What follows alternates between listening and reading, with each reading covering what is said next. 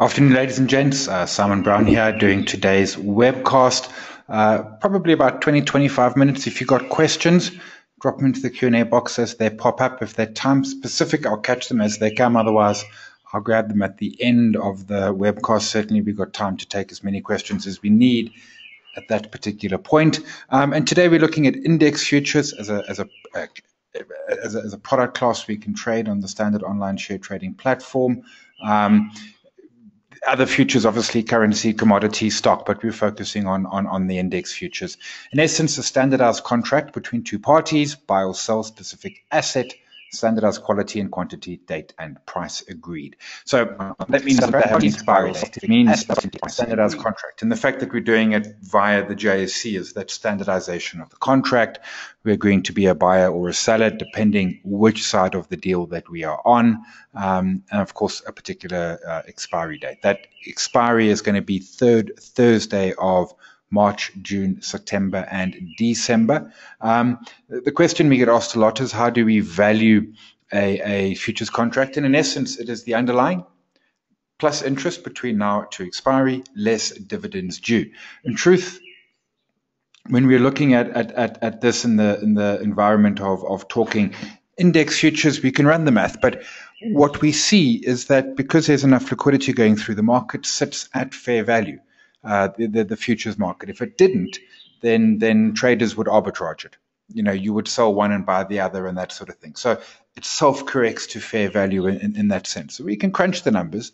Uh, the question is interest rate and, of course, the dividends that are due yeah, we, we different folks will use a different interest rate. We can estimate it. Dividends, some of them we know what those dividends are going to be. The rest we need to make an assumption. For example, a dividend that might only be declared in November, paid December, will be in this contract. So we don't know about it. I don't stress the fair value.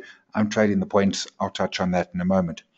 Uh, been around forever. Locally, RMB kicked it off in 1987. Um, a year later, we saw SAFEX being formed with the amalgamation of banks uh, in South Africa, and then in uh, 2001, the JSE bought SAFEX. And it's important that the JSE owns SAFEX, or that it. What we're not doing here is counterparty risk. In other words, if someone defaults, if I end up losing a lot of money uh, on my particular trade and I can't pay it, um, ultimately uh, your counterparty st- stands in, the, the, the, clearinghouse rather stands in, who's between the broker and SAFEX, and ultimately the JSE will step you right. So you don't take counterparty risk. Other people defaulting is not of any concern to you.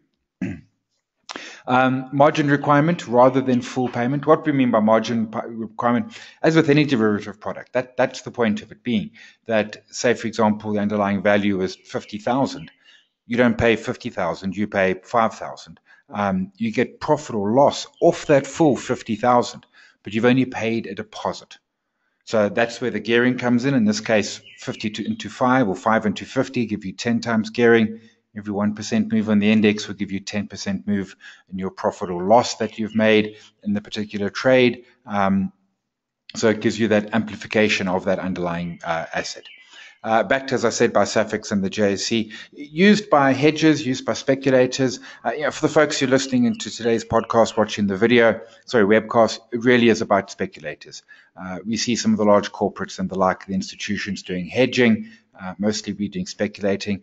Uh, we'll see intraday trading, classic intraday where you close all positions by end of day. You go to bed at night, you have zero open positions.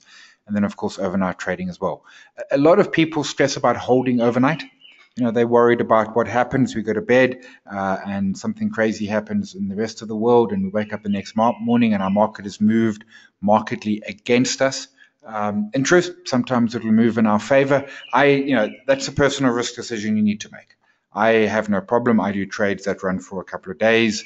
I took an entry on Friday. But there we go. Audio's back. Sorry, you lost audio there for a sec. I took an entry on Friday, held it over the weekend. Uh, I, I, don't worry about that in, in, the least. Certainly, it adds risk. Um, I happen to be long, but sometimes you'll be short. And as today, the, the move up, the gap up was up rather than down, so I'm sitting pretty in that space. Importantly, with index futures, we are trading points, index futures, not rands and cents. So what we have here is a situation, we've got the buyers on the left as always, the sellers on the right, uh, 50,360. We're back with audio. Sorry folks, I'm struggling with internet here, which is therefore struggling with audio. I do pick up when it stops, so I will pause and wait for it to reconnect. If it dies, we'll move to a plan B and we'll send you a copy of the video. Um, but for now, we're going to carry on because it certainly does come back. And when I tested it earlier, it worked fine. So we're trading points. So you go, if you're buying, you'll buy at 53.63. That's not the price you pay. That's the point at which you enter the position. And then if it goes up 100 points, you've made 100 points. Um, and if it goes down, you've lost 100 points. So we trade on points, and there's a value either 10 Rand or 1 Rand per point. But this is the key difference between trading a share. Whereas this would be looking at a share and you would say, well, that share is 503 Rand. If it goes up to 510, then I've made 7 Rand. Oh, no. In this case, if it went to 510, that would be 51,000 uh, and you would have made yourself some uh, 640 odd, 630 odd points of profit. I'm going to come back to that, so we'll park that there for now. Some details on the various different contracts. There are essentially two contracts that we can be trading. Yeah, now, so some of you are struggling on the audio. As I said, I'll carry on. We'll see how it goes. If it totally fails, I'll re-record it this afternoon. Um, you've got your ALSI, which is the main contract, and then we've got the ALMI. Now, the ALMI is a mini contract. Um, but let's kick off. The underlying in both cases is the top 40 index. Don't think it's the all share index, it's the top 40 index. Uh, your margin as of this morning was uh, 50,505 Rand for the top 40 for the ALSI uh, and 5,050 Rand and 50 cents for the ALMI. What you can immediately see is there's a 10 times difference. Your exposure is just over half a million for the ALSI and uh, just over 50,000 for the ALMI. If you take a long position and it went to zero, that would be your total risk. Now, an index doesn't go to zero, well, unless the world is ending. Um, but in essence, you know, certainly that is your exposure and your risk. But indices, uh, I want to say never, but I'm going to say I can't remember an index going to zero. Let's, you know, never say never. The important point is value per point. With ALSI, 10 Rand a point. With ALMI, 1 Rand a point. In other words, if you make 100 points profit on the ALSI, you've made a, a, a 1,000 Rand. 100 points at 10 Rand a shot, you've made a 1,000 Rand per contract. And on the ALMI, you've made 1 Rand uh, you, per times your 100 points, you've made 100 Rand per contract. What this means is that the ALMI is a great place to learn to trade. You know, you can kick off with 10,000 Rand, and I'm going to come back to it in a moment, but 10,000 Rand, you can start trading the ALMI. You can do it the real McCoy and slowly build it up to a full ALSI contract and then slowly scale. And then one day you're trading, I don't know, 10, 15, 20 ALSI contracts as a, at, at, a time. Most of the other bits, you know, if you want to trade uh, CFDs, if you want to trade equity CFDs, if you want to trade FX or anything like that, 10,000 ain't enough to start with. Yeah, you can start nice and simple. Uh, volumes per day, about 20 to 30,000 contracts on ALSI. ALMI, much smaller at about 1,000, 1,500. Some big days, 2,000. But pretty much uh, you'll find it significantly bigger trading on the, the, the, the ALSI. And that makes sense. That's the main contract. Spreads typically tighter on the ALSI than the ALMI. Cost of transaction the same, 12 Rand 50 plus VAT. That includes booking fees. Some brokers will quote booking fees separate. This was 1250 plus VAT. What's that? 14, 1445 if, if math is right. Uh, and that's total included price. So on ALSI, 1445 is a point and a half. When you buy, point and a half when you sell. Here, 1445 is uh, 15 points when you buy, 15 points when you sell. I say to folks, if you're testing a system in ALMI, don't look at your P&L. Look at the points that you've made because your P&L gets badly skewed you know, and an ALSI in and out, three points. ALMI in and out, 30 points. You're 27 points behind. That's a big difference. So look at the points that you've made a profit on, that P&L, rather than the rands and cents P&L. That will give you a better indication of how ALMI trading will convert to ALSI trading.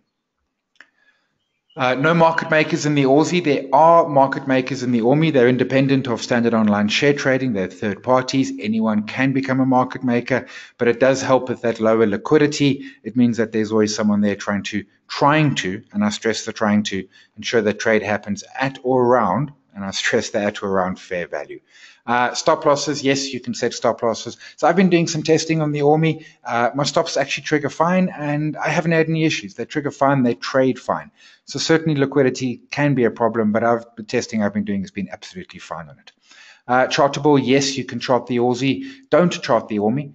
The ALMI is in essence a replica of the ALSI, and the point why I say don't chart it is lower liquidity. You're going to get a much better chart on the ALSI. What you can also do is you could actually chart the top 40 index. And that's what I do. So I chart the top 40 um, and then I trade the ALSI. I chart the top 40 because in the shorter time frame, it's less volatile. You know, if someone comes in with 50 contracts to trade ALSI, long or short, they can move that ALSI. They can, depending when they trade it, they could move it 50, maybe 100 points. Yet the same value traded in the in the top 40 in the equity space, you wouldn't even notice it.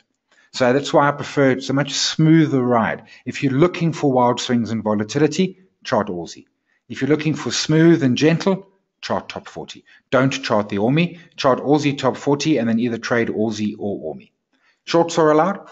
Shorts enable you to sell something you don't own so that you make profit on the downside. In other words, you can make a profit as something is falling. If we go back to this example here, so you would sell at 50,360 and you would then have a position of minus one. And then as it was falling, you'll be making profit. So it falls 100 points, it's minus 100 points times your minus one position, you are plus 100 points. Uh, closeout, as I said, uh, futures contracts, so they have quarterly expiry periods. For our contracts, that is third Thursday, March, June, September, and December. Uh, typically happens at lunchtime. Last contract, I don't. I was actually I was uh, on holiday, but I know we had some technical glitches. I'm not sure when it did kick off in the end. But every quarter it closes out. Uh, standard online share trading will, if you are long, if you have a position, if you have any open position, long or short. Uh, on closeout, they will roll you into the next contract. So if we are currently trading the December 17 contract, if you are long at or short at that expiry, they will roll you into the March 18 contract. You can elect to be closed out um, if you want, but that the default is to roll you into the next contract. An important point is that the current contract will be trading at 50. The new contract will be trading at uh, 50,400 points. Those 400 points is in essence the plus interest minus dividend between now and expiry. If the index went sideways, those 400 points would eke out from day to day over the period.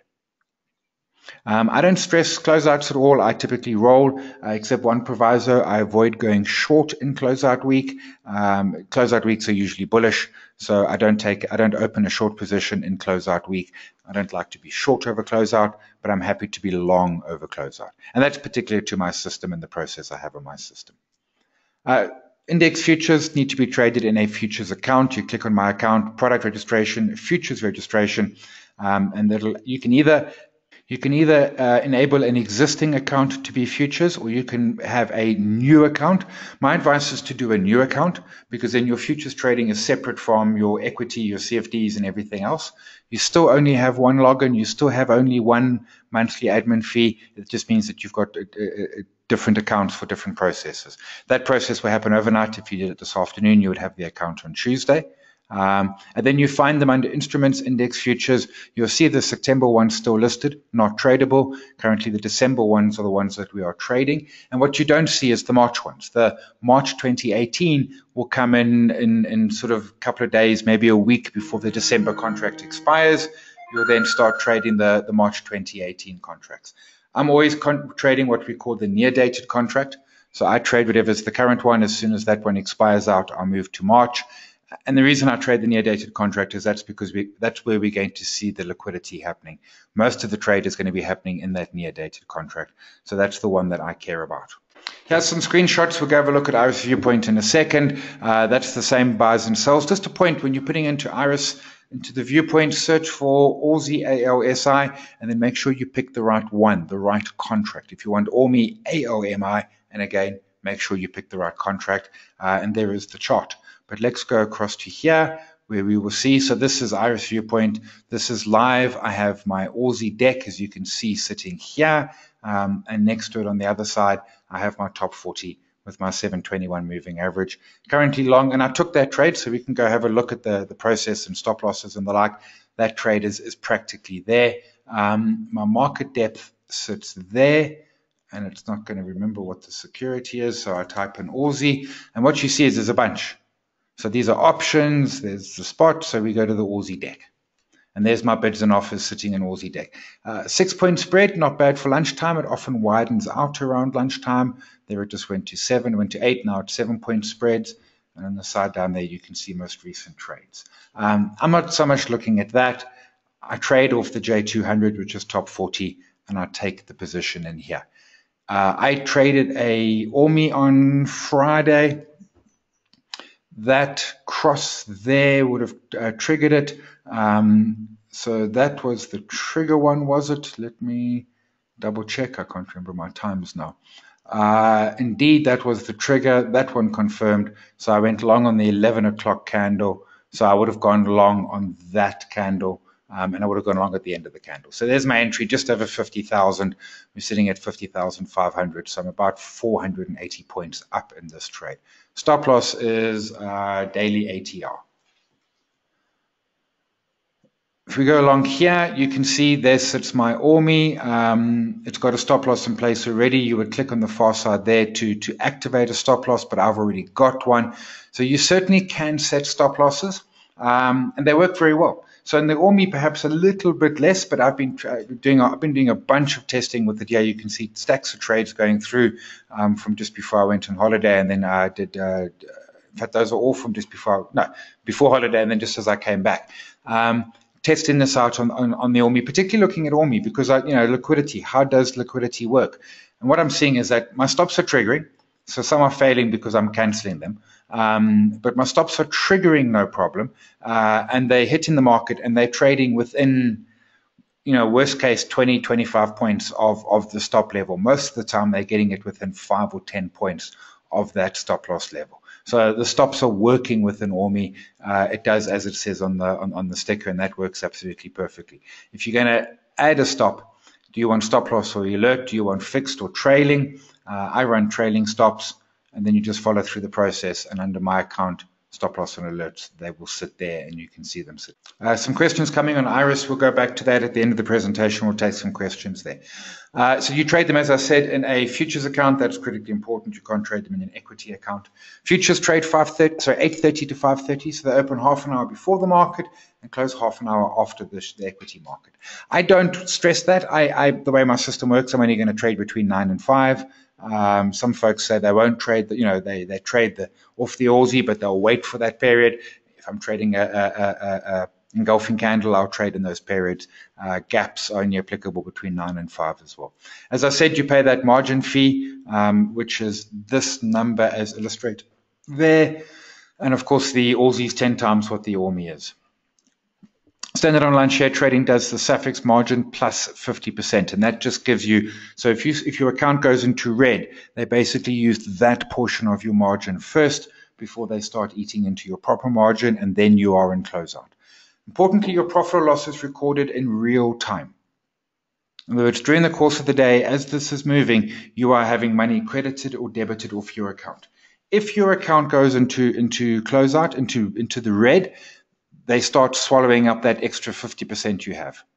If that extra 50% is then gone, online share trading, you are then an auto closeout, and they will then start looking to either, yeah, they'll, they'll want more money or they will start exiting positions in order to get your account back into the positive. Um, and then end of day mark to market. Uh, this is just a theoretical price. We don't stress it. We don't use it. So it's not particularly a, worry. So it's that initial margin you pay currently around 50 or 5,000 live is your variation margin during the course of the day, um, and closeout is when you've swallowed a third of that variation margin. You're now in the red, and now you're liable for closeout. You will get emails and SMSs saying, "Hey, things are not looking good here. You know, please deposit money, close positions, something like that." Um, so it's not, you know, you, you you should be aware of the situation, but certainly it does work. So just some of the systems, I'm not going to spend time of it. We've done these videos during the course of the year. They, the links are all at the bottom down there. my 721, which is my primary system, uh, which I'm trading the ALSI futures with, um, and an hourly chart have been doing since beginning of the year. Um, typical trade about 10 bars in duration. So about a day and a half or so. Although recently we've seen that a little bit longer. Uh, small tweak I did make from when I did the video is I've adjusted my stop loss. Instead of using two times the hourly ATR, which was averaging about 250 to 300 points, I use one times the uh, daily ATR, which is about 500, give or take 20 or 30 points, as my trailing, and I put a fixed in at two times the hourly ATR. Gap trading, which is a second view, which I've hardly been doing because we get so few gaps. And the point is that the 721 has been keeping me in the market much of the time. Again, link down at the bottom. And then engulfing candle, which is also a secondary. The process is to potentially trade a couple of different systems. And I, have you know, the, the, links are there and you're welcome to them. But the way my 721 is working is I've actually moved to the point now where I'm trading only a single system. I trade just my 7 and 21, and the hourly charter keeps me busy enough. I'm probably at the end of the year going to switch it to a daily chart um, and then start using. Uh, uh, also trading on the DAX and also trading some uh, one of the FX pairs, one of the majors, for long reasons. Probably because the DAX trades in euros, I'll probably trade trade pound sterling uh, sorry, sterling euro, because that also then trades in euros. So I'm keeping all my trades in euros. I don't have currency conversions all the time. So closing, I, I think indices are the best thing to trade. I absolutely think indices are the best thing to trade. Uh, I haven't traded equities in, in 10 years, except for two ungeared trades I did a couple of years ago in Aveng and uh, Lonmin, because they were zombie stocks. They were easy. So I think they're great products to trade. Trade them with caution um, you know, if you if you if you trade like a fool, you're going to lose money. That look, that's true with anything. You know, even if you doesn't matter what you trade, even if you're trading marbles, if you trade like a fool, you'll lose money. Um, time frames, you can do anything five minute to weekly charts.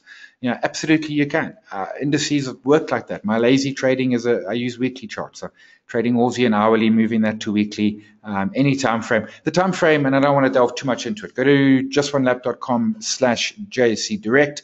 Uh, last week's podcast was about time frame, so you'll find stuff there around. What's your margins?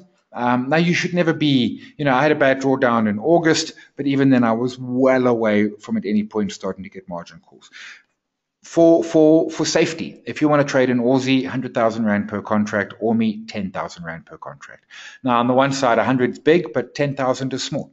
So the point is that we can start trading with 10,000 Rand. You know, we, we learn by webcasts, we learn by reading, we learn by videos and courses and all of that. But truly, we learn by doing.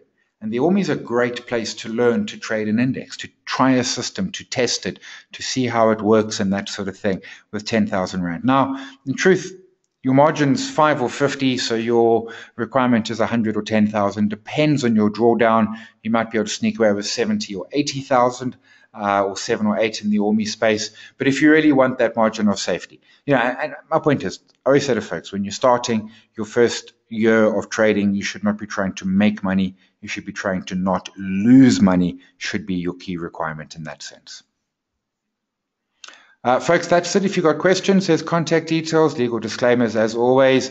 Uh, contact details. There was a question coming through on the viewpoint IRESS. So someone was saying you can't draw trend lines. You can. If you click on that little arrow, if you see my mouse down there, you click on that arrow, you get the trend lines. You can draw yourself trend lines. There's my trend line.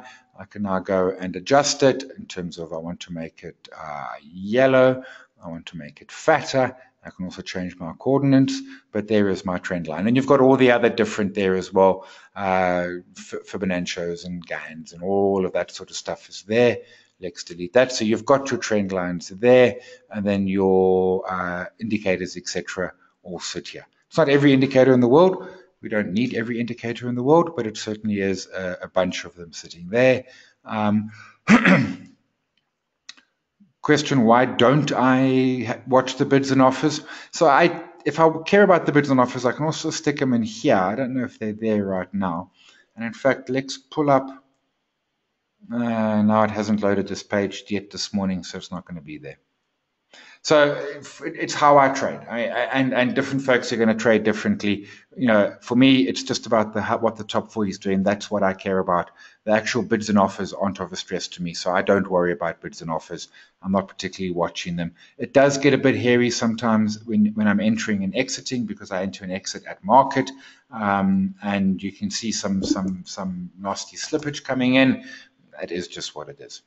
So there's the no, that gave me ALSI. I want the ALMI. So I have a quick peek at the ALMI contract.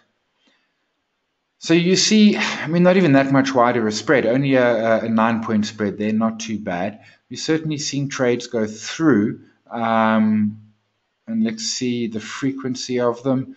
Uh, a trade every couple of minutes, some activity at 45 or 42, but those 20 trades have happened in 30 odd minutes.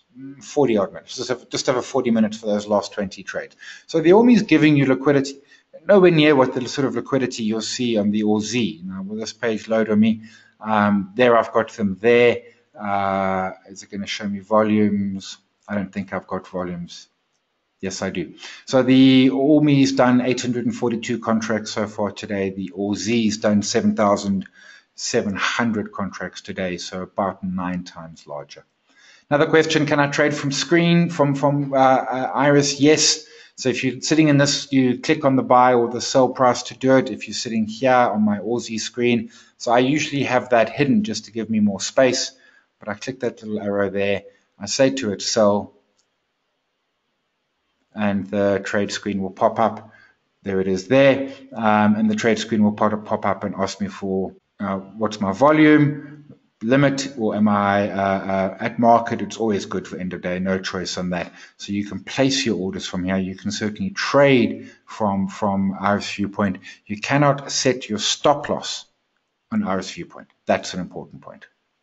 So you can enter your trades, you just can't enter your stop. So I then enter the trade and then I boogie along to the website and enter the stop loss. Ladies and gents, I'm not seeing any questions. Ah, so how profitable is my 721? My expectation is to make uh, per contract around five or 6,000 points uh, per year, so around 50, 60,000, about 50, 60%. Um, and then, of course, costs, etc., come on top of that. Uh, at this point in the equation, um, I think I'm, pr I'm, probably on track for 5,000. So I did 3,800 points for the first six months of the year. Um, and I take that up to the June expiry because I run the expiry periods. Uh, up to June expiry, I had done 3,800 points. I was well ahead of track. If we just multiplied it and you know doubled it out, I was up to make seven and a half thousand. Um, of course, Murphy had some fun with me in August, uh, so I'm on track to do about five four. But it's a it's a moving it's a moving target. You know, the, the target is one thing, but what your target's going to pay out over a couple of years. You're not going to hit it every single year. Ladies and gents, we'll leave it there. Graham, my absolute pleasure. Uh, I'll check the video if you if you came in late. There were some gremlins with audio. I'll tweak those out so the video will be up late this afternoon. Um, someone's quickly asking for those links again. So they're all on the website under the primary system.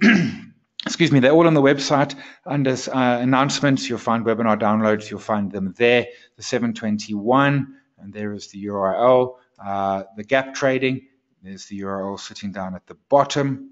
And I just lost my audio again. So there's the URLs down at the bottom. Ladies and gents, We'll leave it there. Thanks for your time, everyone. Uh, until next time. Cheers all.